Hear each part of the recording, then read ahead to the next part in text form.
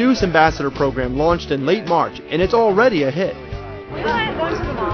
the outlet center? Yeah. Okay, it's going to take you directly to the bus stop, and when you're done shopping, go back to the place that they dropped you off at. Awesome. Okay. Have a good day. 15 new ambassadors are there to help you with every aspect of your transit experience. You'll find them up and down Las Vegas Boulevard at various stop locations every day of the week.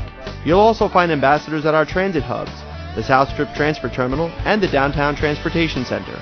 It's a great experience. I get to talk to a lot of different people every day and help them use the transit system, and I really love doing this job. Deuce riders will appreciate the time saved because of the efforts of the ambassadors. With an ambassador on hand to answer all of your questions, the drivers can concentrate on the business of getting you where you need to go. The Deuce Ambassador program is unique because the riders will actually have an on-site customer service representative along the route.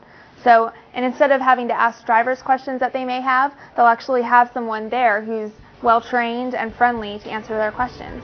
Also, we're hopeful that'll actually increase operational efficiency of the Deuce system because the ambassador will be there to kind of be a buffer between the driver and the rider. The Deuce Ambassadors are really helpful, and the bus is a lot of fun.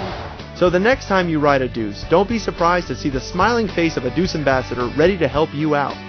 It's just one more way the RTC is improving your transit system.